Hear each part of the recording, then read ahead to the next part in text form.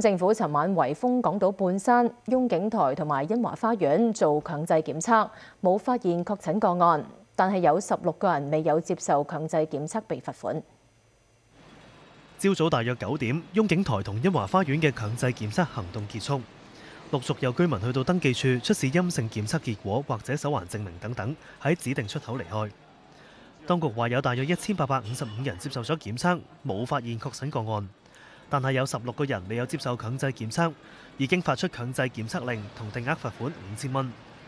雍景台同欣華花園早前各有一座大廈被納入強制檢測名單，居民已經做咗一次強制檢測。有居民認為圍封嘅做法重複，大部分人都已經做咗強制檢測啦。咁其實去做多次封區就好似即係少少可能有啲人覺得多此一舉啦。但係只不過誒，佢、嗯、比較用咗好多人力物力。亦都有市民認為圍封合理，係必要，當然係必要啦。但係衰在佢有通道，一期通到二期噶嘛，可能政府因為咁樣就要做埋二期咯。當局派員到訪大約九百八十戶，當中大約一百五十戶冇人應門，當局會再跟進。無線電視記者鄧雲滔報道。